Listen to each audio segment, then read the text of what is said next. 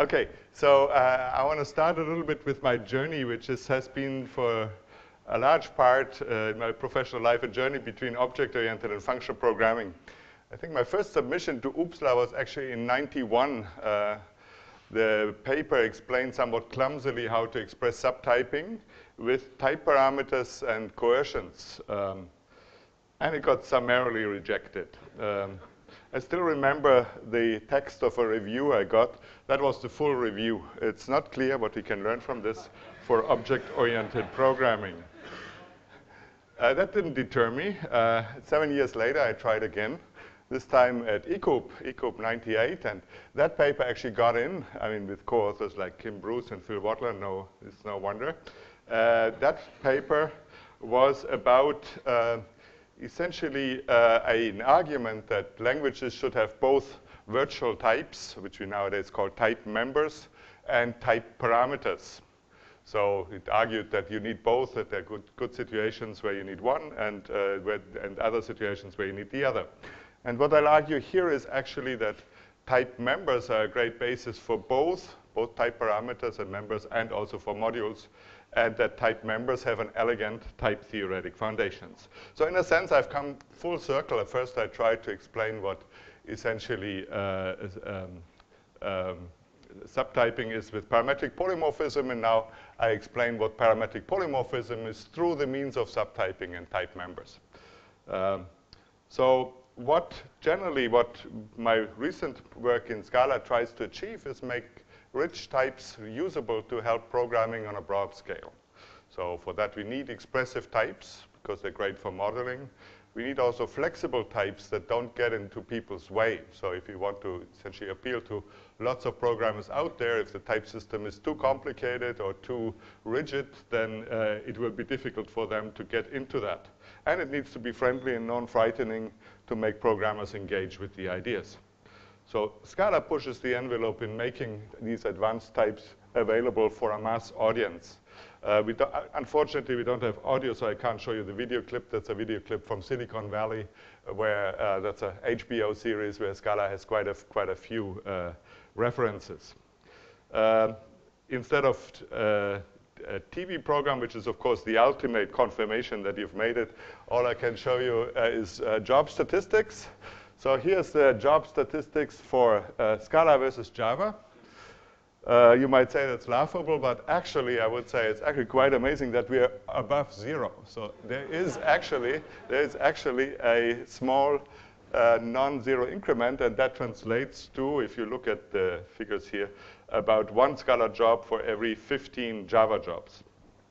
Uh, here's another uh, job graph which shows uh, the, the thing in a bit more detail. So the uh, orange curve is Scala, and the blue curve is data scientist, which is sort of the first thing that comes up when you look at Indeed.com job job trends. And it shows a nice upwards trends, and it shows that Scala has about the same upwards trends, which maybe tells you something about where the jobs in Scala land are. Indeed, a lot of them are in data science, data analytics, and things like that. Uh, another data point is that our MOOCs on Coursera so far got over 600,000 subscriptions. So that's mass audience, uh, all right. Uh, but the question here is, well, all this is very nice, but where are the foundations? Well, you could answer, well, why do foundations even matter? Uh, and I think that, in fact, they do matter because they help ensure properties such as type soundness, serve as a feedback loop for the language design, and they help hidden connections between language features. so the feedback loop, I maybe want to explain with an example. So covariance, the issue of covariance has been with us also for a long, long time. Uh, one a very well-known case of covariance is covariance arrays in uh, Java, and which are, of course, known to be unsound. But do people care? Well, not really, right? So for instance, C Sharp knew perfectly well about the unsoundness issues, but it nevertheless copied the design wholesale from Java. So, and that wasn't just because uh, people didn't know where they were going. They, know, they knew full well where they're going. And there are other languages, also respectable languages, such as Eiffel, Dart, and TypeScript, that elevate this idea that everything should be covariant to a general principle of language design. Uh, cited advantages of that is simplicity, it's simpler, and it's more intuitive. If programmers uh, uh, use, they, they, essentially if you have a naive programmer, they usually think everything should be covariant, so why not make everything covariant? Why is this a problem? Well, actually, you could say it's a problem you, because you get soundness bugs. You can, you can get things where you get uh, a type error at runtime. And then probably a programmer would say, yeah, but that's, that's a checked exception in Java and C Sharp, right? How is it different from, let's say, a null pointer exception or anything, any other thing? That's just sort of in my general space of exceptions that I expect at runtime. So why should I single out one type errors to be sort of the terribly wrong exception that I can't have? Okay, but I think there's actually another argument that uh, is is a stronger one for correct foundations and for soundness, and that means that it, soundness or uh, correct foundations are not so much important because they prevent us from doing the wrong thing, uh, sorry, so, but because they enable us to do the right thing. Or otherwise, if the foundations are not wrong, uh, are not right, then sometimes they prevent us from doing the right thing. So for instance, if I have a language with general covariance, and one thing I cannot do is use functions contravariantly, which of course the foundations say I should be able to do, right? A function with a larger input domain is a subtype uh, of a function with a smaller input domain. So in a sense, having the wrong foundations, uh, it might be sometimes more intuitive, but it actually prevents us from learning. Once essentially the system, uh, the, the, the, theoretical foundations tell us something that's wrong, how can we ever get back to the, to the, to the path of rightness? So then the second question is why not pick uh, existing foundations? Uh, there are quite a few around. There's uh, FJ for featherweight Java, there's uh, lambda calculus, there's logic. There's a lot of existing foundations out there. And I think the, for Scala, none of them was a very good fit because it turns out that with existing foundations, what you get usually is variants of existing languages. And Scala is not exactly a variant of an existing language. It's pretty much its own thing. And it turned out that the existing foundations simply were had too large an impedance mismatch to be able to guide us competently in the language design. So if there's too, if essentially you can encode everything in a Turing machine, but what does that tell you about your language? How does it guide you in the language design?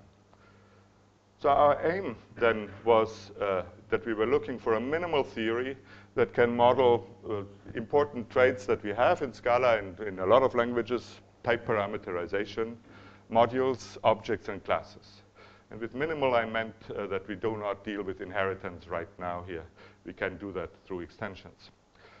There were several attempts before, uh, including one also that I, I uh, uh contributed to that was called New Object, and that appeared at ECOOP 2003.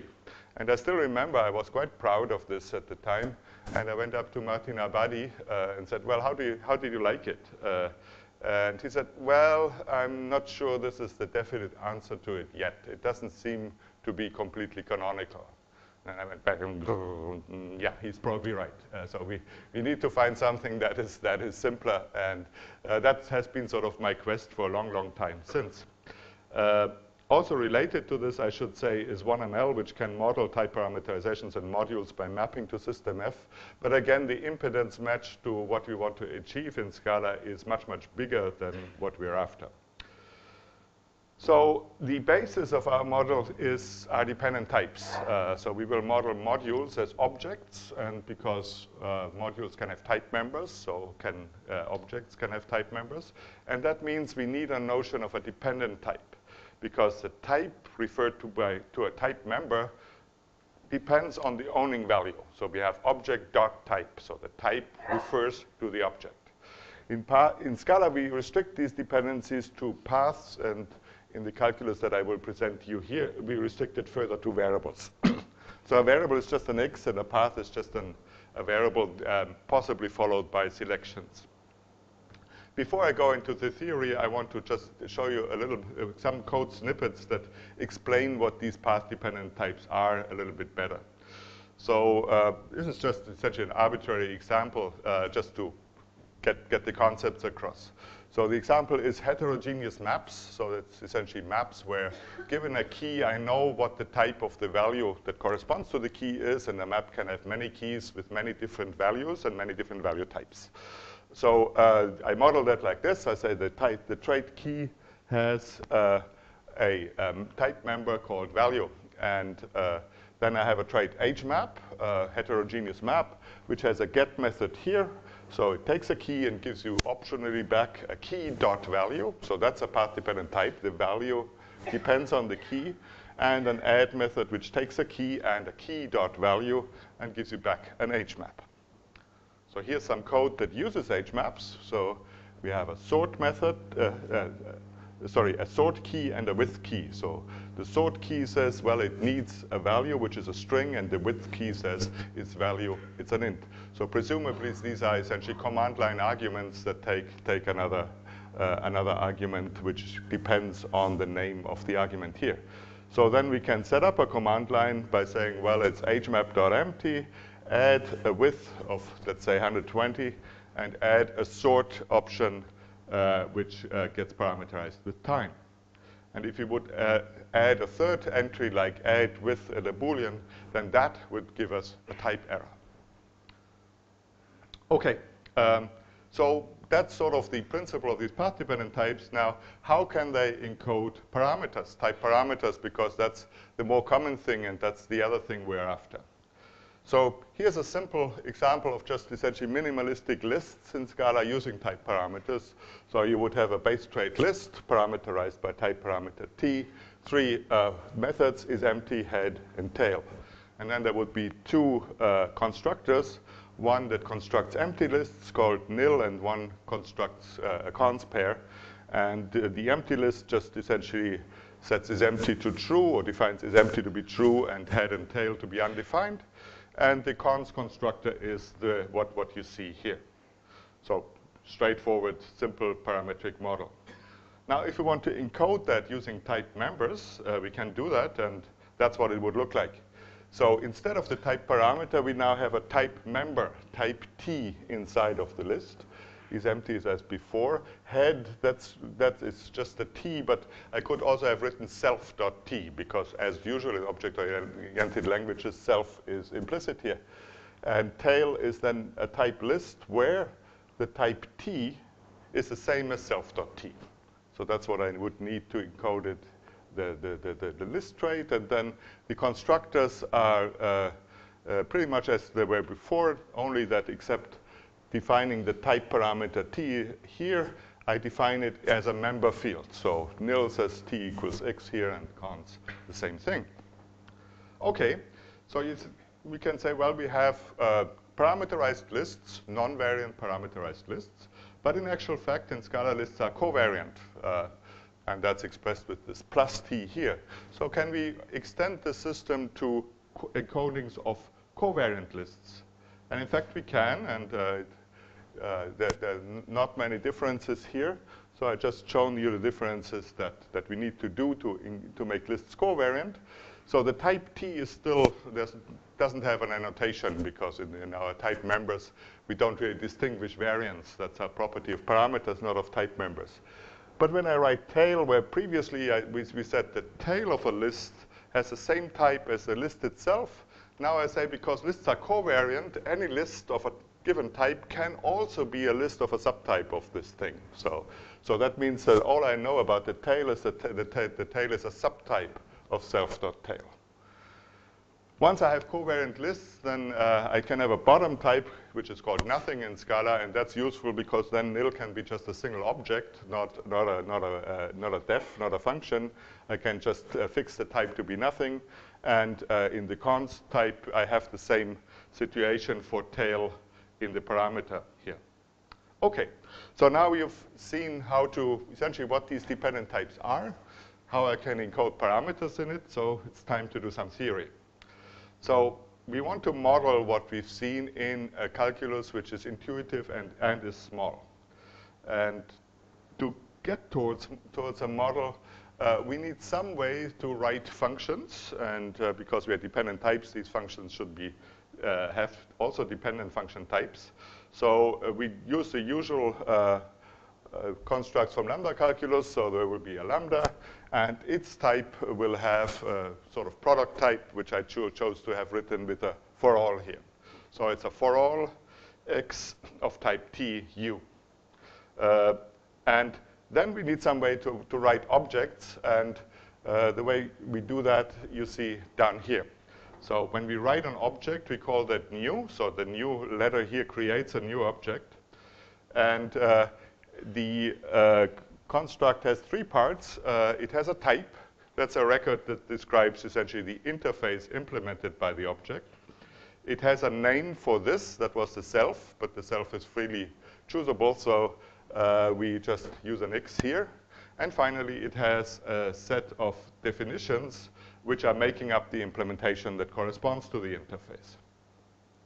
And the type then of uh, such an object is essentially a record type, so it consists of the T, but because objects can refer to self in their implementation as well as in their interface in their type, so you can refer to other types in an object, uh, the whole thing has to be again indexed by T. So it's essentially a recursive type here, but all quantifiers in the whole thing range over term variables x, and that's a deviation from what you've seen in a lot of other type systems where type variables are essentially small t's that range over types. Here, everything ranges over terms, and that's, a, that's an important distinction.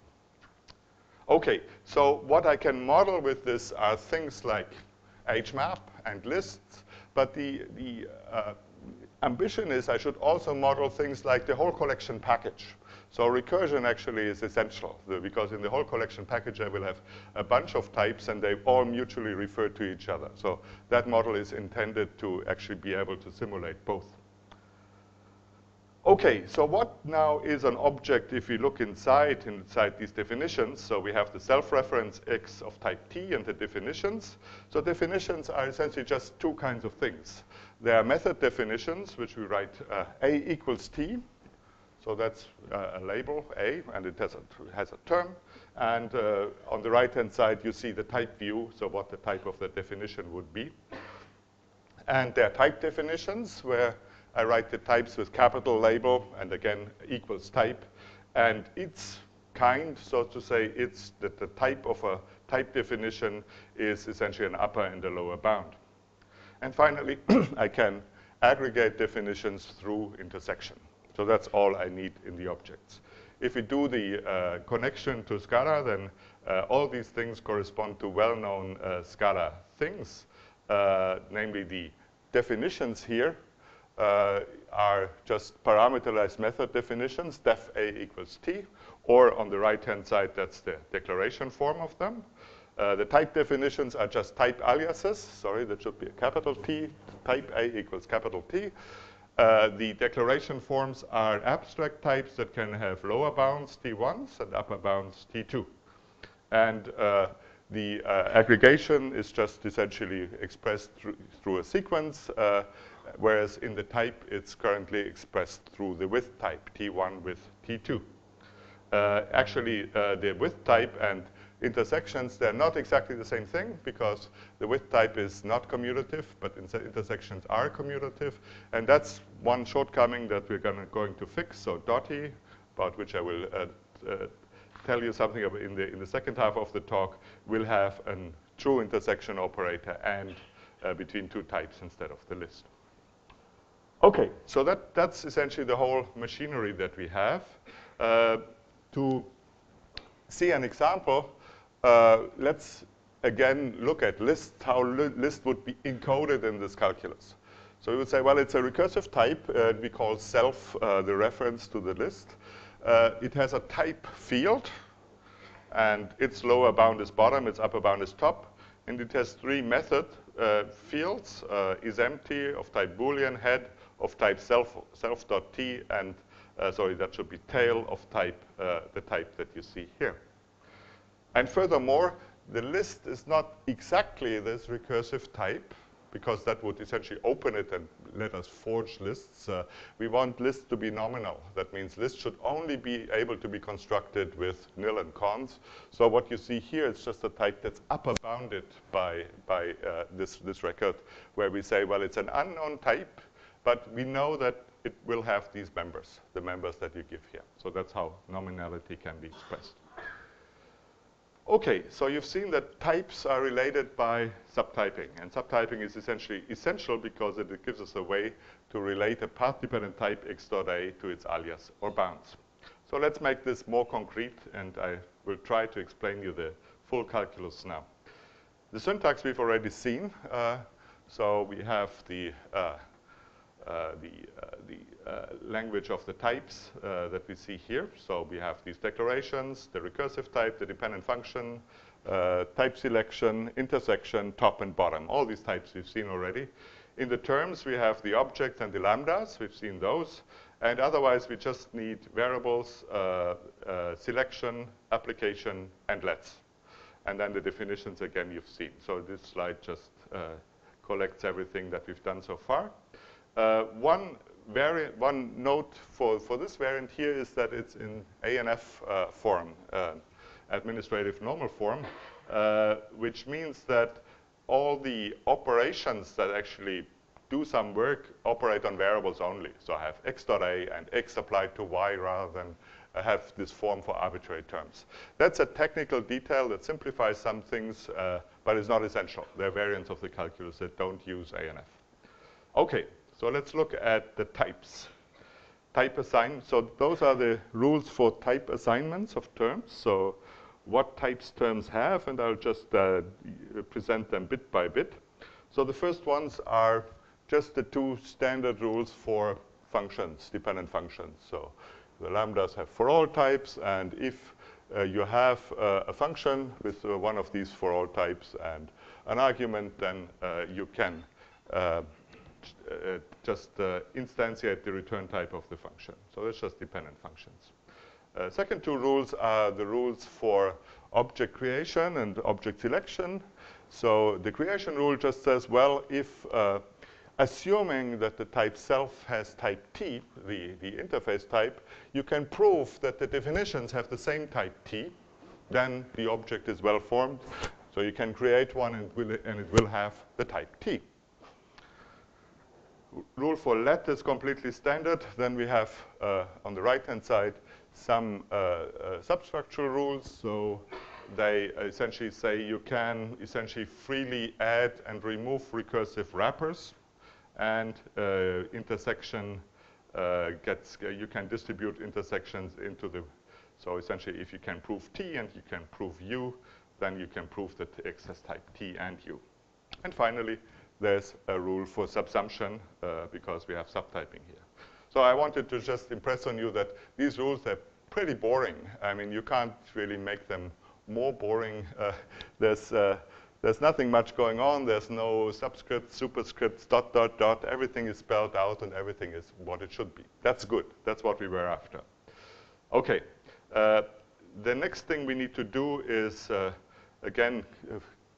quite simple and administrative. We have to give the, to these definitions types. And again, it's as straightforward as it could be. If you write A equals T, then you get a field of type T of the type of the term here. And if you write uh, a type A equals uh, type, then you get a type field that has an, a lower bound of this type and an upper bound of the same type. And finally, if you take two definitions, then you can join them with an AND, and uh, the types get joined again with an AND. Okay, almost done. So the last thing we need to do is subtyping. Subtyping uh, has quite a few rules, but they're all extremely boring. So this is just uh, reflexivity, transitivity, and the natural rules you need when you have intersections. Um, the only two rules that do actually interesting works are those here. Uh, you see in the upper right where you say, well, if a variable x has a type field with lower bound s and upper bound t, then x dot a is a subtype of the upper bound and a supertype of the lower bound. So that looks also completely innocuous, but we will see that it, uh, it's that rule that makes quite a lot of problems in the meta theory later. The remaining three rules are just the usual structural rules on subtyping where you say I push subtypes into essentially member, member types, uh, uh, term members, type members, and uh, function types. Okay, so the, the, so I should also say the one thing that's missing here is to say, well, we had these recursive types and there's no subtyping rule for them. That's uh, uh, nothing left out in this version of the calculus. There's indeed no subtyping rule for recursive type, which means that subtyping on these things essentially is nominal only. So you'll see later in the conference, uh, actually this afternoon, a talk by Nada and Tiark Rompf that shows you how to extend the theory with these structural recursive types. So that's not a fundamental limitation, but it requires uh, more machinery and the proofs get harder to actually prove the full thing with recursive subtyping. Okay, expressiveness. So simple as the model is, it's actually quite expressive. So what we can do directly, and what I've sort of showed you uh, informally at the beginning, we can do type parameters with variance. we can do nominal typing. Uh, we can do modules, at least generative modules. We have self-types, which you've seen. And we can do ADTs and simple classes. So that was the list example that I've shown you. Uh, classes with inheritance, I've not shown you, and indeed to do that well, it requires a smallish extension. Okay, so that was the theory. What about the meta theory? So this should be simple to prove, right? Uh, there wasn't much to it, and that's actually it, its quality. Actually, it was all but. So uh, we tried to prove something like this, not exactly the same thing, but something like this, since about 2008. Uh, uh, there were uh, previous publications, notably in FOOL in uh, 2012 and OOPSLA 14, that report about some of the advantages, but a lots of difficulties. so the essential challenge here, uh, so we were sort of banging our heads against the wall and says, why is this thing not provable? And uh, I think it's only over time that uh, we realized what the, the problem he was here and that the problem actually is something that is rather new. So the problem here is that in that uh, calculus, in that mini language, the subtyping theory is programmer definable. So what do I mean by that? So in Scala and DOT, you give the subtype relation uh, part of the subtype relation is given by user-definable definitions. So uh, in Scala, you could write T is a supertype of S and a subtype of U. And in the calculus, you write it uh, with the double dots here. So T is between S and U. So that makes T a supertype of S and a subtype of U, of course. Then by transitivity, S is a subtype of U, right? Because subtyping is transitive and there's a T between them. Uh, it follows from the rules. So that type definition, curiously, it proves a subtype relationship which was potentially not provable before. So by virtue of this type T between S and U, I've now stated that S is a subtype of U, which I didn't know before. So that's essentially the, the, the, the kind of curious thing that, that happens here. Now you could ask, of course, well, what if the bounds are nonsensical? So what if somebody wrote T is a supertype of any, our top type, and it's a subtype of nothing, our bottom type? So by the same argument as before, the lower bound is a subtype of the upper bound by virtue of this declaration, and we get any is a subtype of nothing. And once you have that, again, by transitivity, of, you, of course, you get every type is a subtype of every other type. That means the subtyping relationship collapses to a single point. And that's bad. You can imagine that's bad. Uh, it's it's bad for, for, for, for, a, for a simple reason. Uh, so if you want to prove soundness of these things, uh, let's say the, with the usual small step soundness proofs, then one thing you need to do, well, whether small step or big step, really you need to do that always is inversion. You need to say, well, if I have a definition, let's say x equals, I create some new object, then uh, I, I, know uh, something that uh, uh, sorry, if, if, a, if a variable has a certain type, then I know something about how it, how it is defined. So if a variable is, let's say, a, uh, an object type, then it must be an object that I have created somehow. So that's the, the critical thing of, of, inversion. But if every type is a subtype of every other type, then by subsumption it could be anything. It could have started life as a function, and then through subtyping, suddenly it gets an object type, and then uh, but the problem then is I know nothing by having the type of uh, a term or a variable. I know nothing about it, what, what its value is. And uh, that's bad. That means I, I, I, cannot have any, any argument on preservation, for instance. Okay, so you could say, yeah, sure, but these bad bounds, they are, they are, they're bad, right? So we should be able to prevent them statically. And the problem is, unfortunately, we can't do that. Uh, so here uh, is uh, one example uh, where we have two types, S and T. And uh, the, in the S, both, both of these types have fields for types A and B. And in the first type, A is unbounded, and B is greater than A, but less than nothing. And in the second, so these bounds are individually good, right? So there is a type, uh, well, it, there is a type instantiation. I just set A to nothing and B to nothing, and then both of these constraints are satisfied. So no bad bounds here. No bad bounds there either, where say A is a supertype of any and a subtype of B, and B is unbounded. I can instantiate just anything to any. But if I take the intersection of those two types, then uh, what I get is precisely bad bounds twice. So I get a type A that is bigger than any and smaller than nothing, and a type B that has the same constraint. So bad bounds can arise from intersecting types with good bounds, which individually have good bounds. And it turns out by a lot of counterexamples, mostly due to Nada, uh, that uh, even checking all intersections of a program statically would not exclude bad bounds. So there is no way to exclude bad bounds, and therefore collapsing subtyping theories. So how do you deal with that? Well, there's a crucial observation to prove preservation, we need to reason at the top level not about all possible environments, but only about environments that arise from actual computation. So those are things that I set, and therefore the, those environments, that's the ones that come up at runtime. Okay, and those environments, they correspond to stores which bind variables to values. So to concrete values, lambdas and news.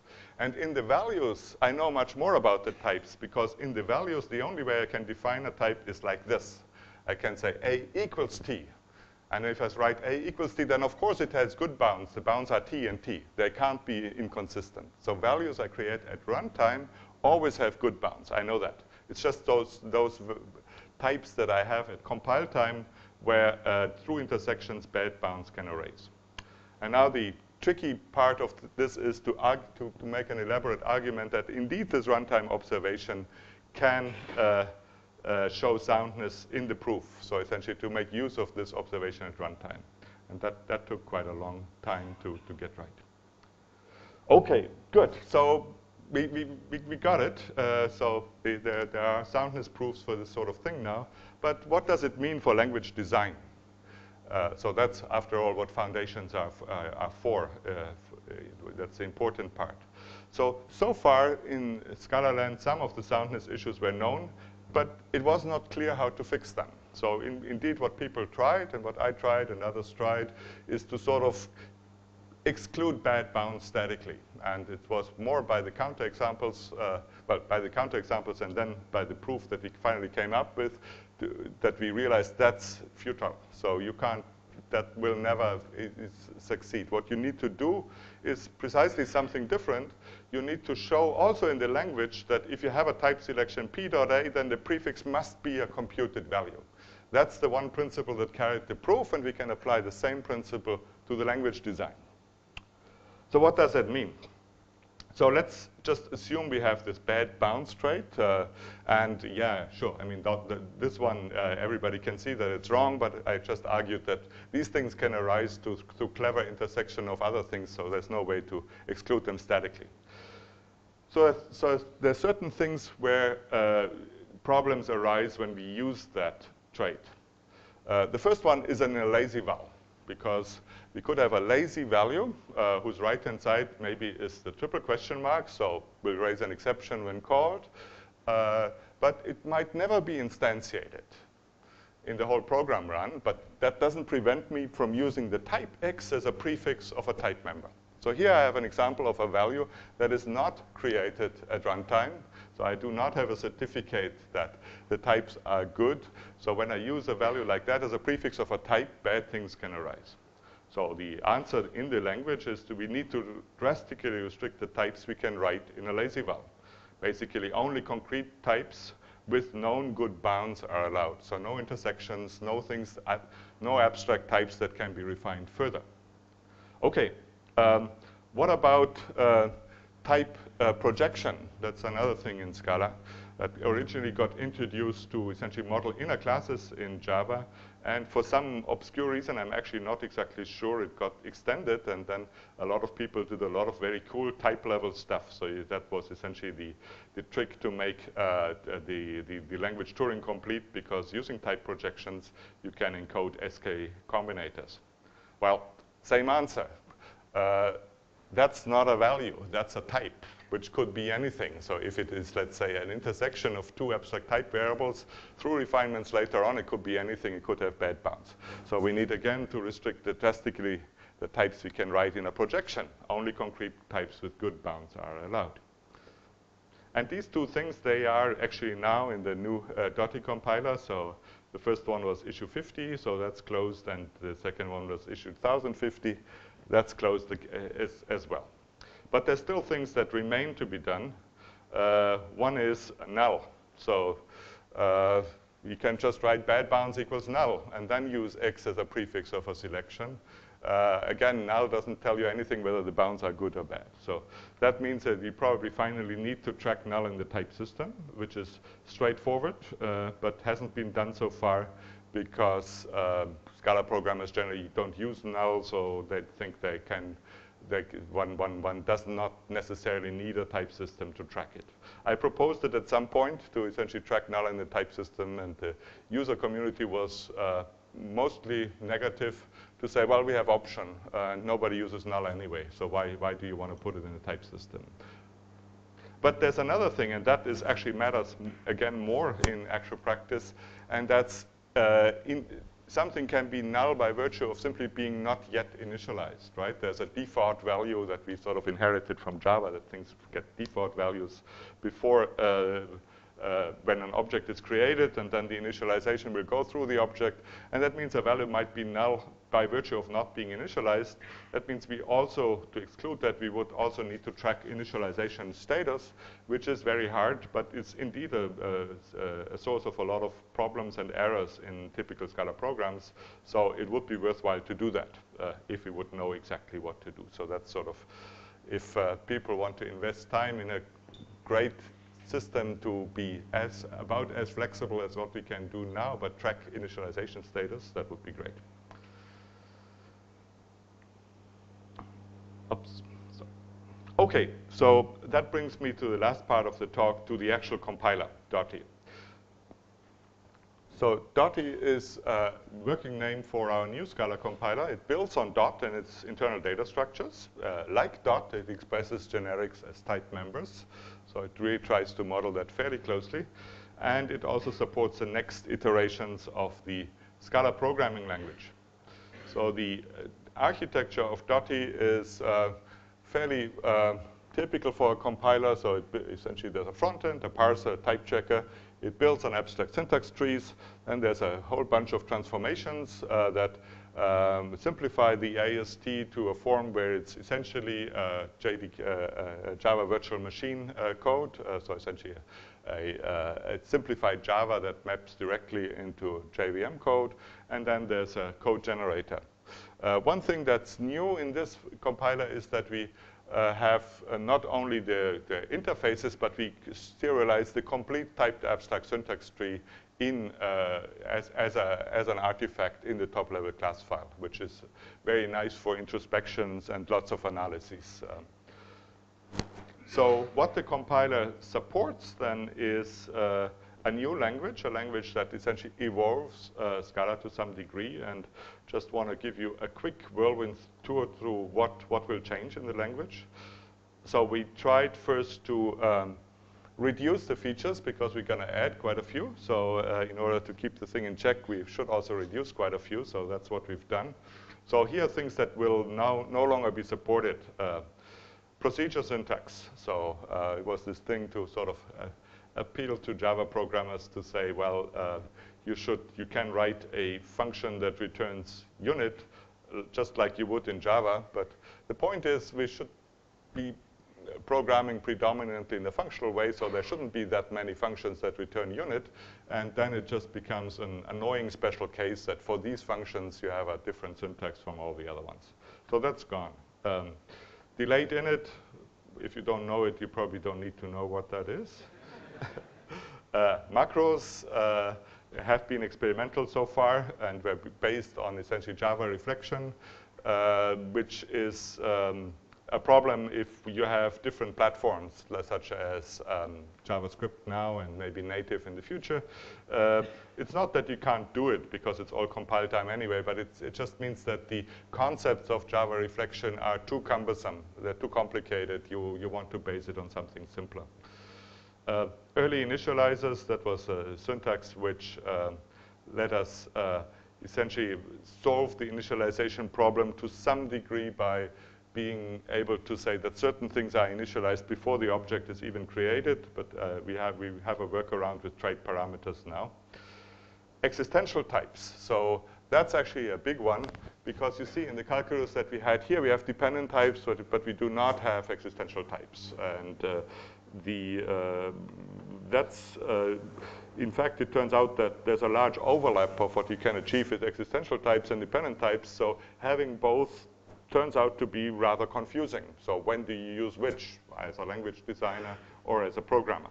So existential types are typically used uh, in Java and also in Scala to support wildcards, which are uh, at the bottom of the slide here. Uh, uh in, in Java, they would be written with a question mark. Scala uses the underscore here. Uh, the wildcards can be and are, in fact, supported alternatively through the dependent types. So we give you essentially ex existential types as long as they can map to wildcards and therefore dependent types. Uh, the rest uh, will go. General type projection, uh, we've already argued that's unsound, so it has to go. And that's it. So I should say that this looks rather radical. Uh, what we are currently investing in quite heavily is a, a, rewrite tool, a smart rewrite tool that will try to essentially move an old Scala code base to this new world where essentially uh, the certain things can't, can't be done anymore. Um, this is, uh, to some, in, in some parts it's very easy, for instance, for procedure syntax. In other parts it's impossible. Like if you want to still do SK combinators in the new Scala, then uh, you you will be out of luck because that, that just won't work, not with projections anyway. Okay, new features.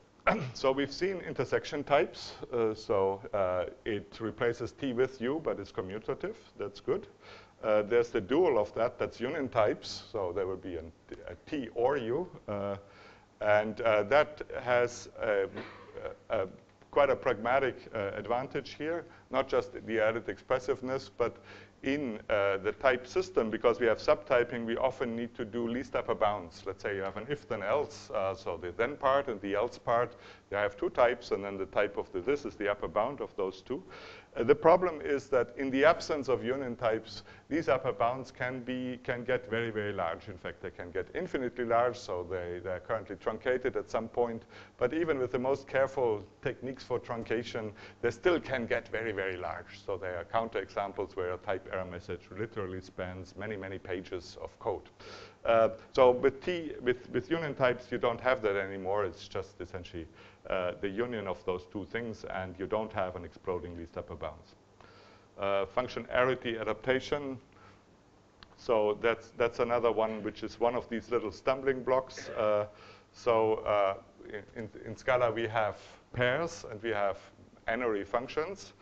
Uh, and often one confuses the two. So let's say you have a list of pairs and you want to map a function. So the natural thing to write is, uh, well, give me the pair x, y, and uh, uh, I give you, let's say, the sum of the two elements of the pair. Um, what you have to do today still is actually to do a, a decomposition with a case here, uh, which, uh, because that thing is a syntax for a function, for a binary function that takes two parameters. It's not a function that takes a pair, so you have to de de de decompose with the case. Uh, that's sort of confusing for, for newcomers, and it's something that the compiler can do very well because the compiler will see whether this is a list of pairs or uh, a list of something else, so it can just replace one with the other. Trait parameters. So traits can now have parameters which are uh, initialized before the trait is initialized, and that will replace the early definitions. Static methods and fields, that's mostly for better interop. Uh, Non-blocking lazy vals, um, that's uh, the currently uh, the that that the we have these lazy values, and the issue is that if you have a system with multiple threads, then the value has to be safely published to all the threads, and that requires essentially some amount of synchronization, which is not very efficient. Uh, what we are going to do now is essentially turn it around and say that if you just define a lazy value, it's not thread safe. So it is single-threaded by default, so it can be very efficient. And if, it, if you want it to be thread safe, then you have to prefix it with volatile, like the other things that you want to safely, safely pub publish. Okay, and uh, Finally, we have type-safe equality. That uh, was another big hole, which actually uh, turned out to be a much, much bigger problem than initially thought. We essentially, Scala took the operators from Java, and that includes equality. But actually having a thing where you can compare everything with everything turned out to be a huge problem in uh, uh, essentially not detecting type errors at compile time. So I would say that's actually the single biggest hole where that programmers actually experience that they say, well, I write, let's say I have a refactoring, I write this type to, uh, one type to another, then, then usually I expect my type system to say, well, I will tell you all the points that you have to adapt when you refactor a type to another. With universal equality, that's not true. You can have an object of this type, which now becomes another type. Universal equality just says, well, you can compare, but from now on, I will always tell you false, which is very, very helpful uh, for, for the compiler. So that, I think that's, that's actually very big to be able to safely refactor code in large code bases. Okay, so these are sort of the things that are essentially implemented now uh, in, the, in the current version of Dotty. What uh, do we want to do in the future?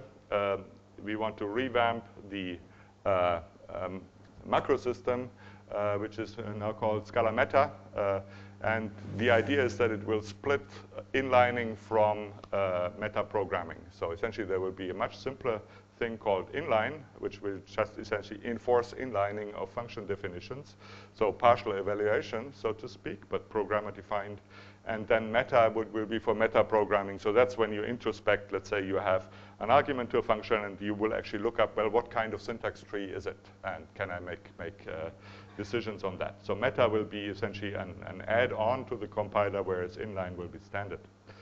Uh, the second one is uh, implicit function types. And that's sort of the most innocuous, smallish one, but for me it's actually the biggest change. Uh, so what you can write um, in Scala, you have these implicits, which essentially are, they can be used as type classes, they can be used as capabilities, they can be used as context. They're a very, very versatile and powerful feature. But so far, we couldn't abstract over them. Uh, because uh, implicits were uh, parameter section of a method, and you had to rewrite, every time you wanted to write it, you had to write the same implicit parameters everywhere. So with implicit function types, we can abstract over them. So we can, for instance, have a contextual S, which is a function type from context to S, but we say the context is implicit. And that's in the type now, not in a, in a term like in a method definition or closure. So what that means is that we can have a definition of a function and its return type is, let's say, a contextual S. And that will mean that indeed there is an implicit context that is injected into the function when I run it. So I will be able to just refer to that and say uh, the way to do that in Scala is to say implicitly and the type, and that will give you, give you the witness of the type. And uh, at the call side, you will be able to just write f of e as if f actually had an implicit parameter section here. So this looks small, but it's huge because for the first time it allows us abstraction over implicit parameters. And I've argued implicit parameters are really important. So abstracting over them is even more important. Okay, one thing that we can do uh, as a next step is using implicit capabilities for effects uh, which means that essentially where effects nowadays are expressed mostly monadic, uh, I have a monad to express an effect. Here the approach is to make effects comonadic, to say effects are essentially given by capabilities that you have in the environment. Instead of saying I have a, let's say, a state monad, I mutate state, I essentially have a function that has, gets the capability, you're allowed to mutate state, and then the type of the function can just be the normal function, and you don't need to put that in a monadic bind or things like that. So I actually think that comonadic abstraction, abstractions are a much more natural fit to effect systems than monadic abstractions. Um, nullable types, um, I've already mentioned the, the necessity to do so. Fortunately, now with union types, we also have the means to do so because we can essentially just say a normal type won't have null with it. If you want null, then, well, it's a union. Uh, it's T or the type capital null, which is, has as its only value the null value. And maybe there's, a, there's an abbreviation for that.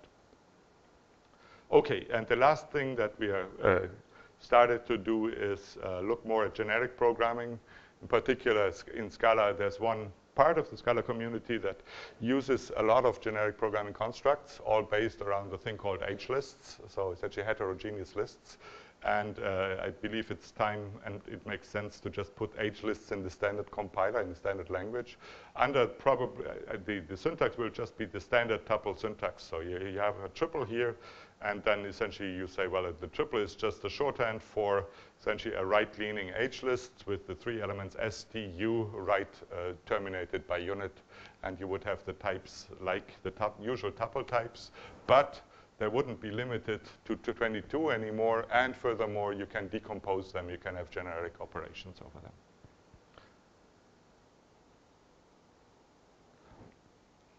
Okay, uh, that brings me to the end of the talk. Um, for details I, uh, of the theoretical part, uh, that has appeared in uh, the Wadler Fest, uh, uh, Festschrift. the paper is called Essence of Dependent Object Types.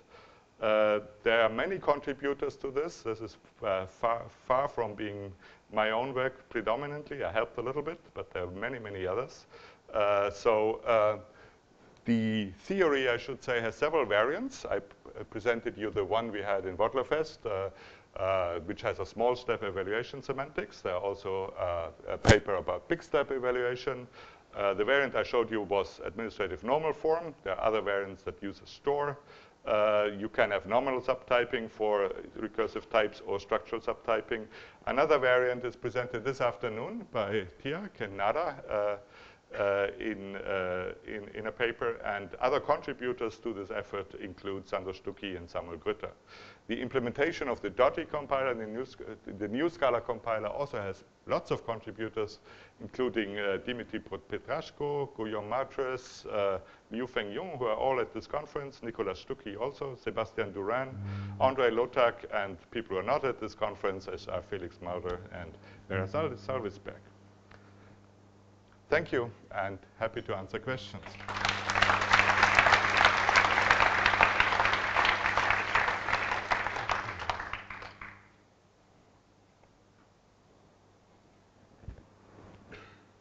we're taking questions.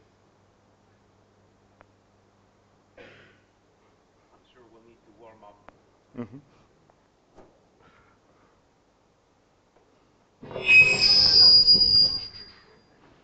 turn this off. Okay. We're not touching one. I'll, I'll yell really loudly. Do we have questions? Ben? Yeah, so I think it's really cool how you reduced uh, parametric types down to type members. But is it also possible to, to do the reduction the other way? Um, if you do the uh, yes, that essentially that's 1ML. So 1ML has uh, a module system which has type members. I mean, modules have type members, and it encodes it all in uh, system F, uh, which has parametric polymorphism but not type members. Uh, I believe that the so the encoding of modules and type members into into one into system F, the elaboration is, uh, I believe, more complicated than what I've shown you. So it's it's it's harder in the sense that I need more context to do that, but it's definitely possible.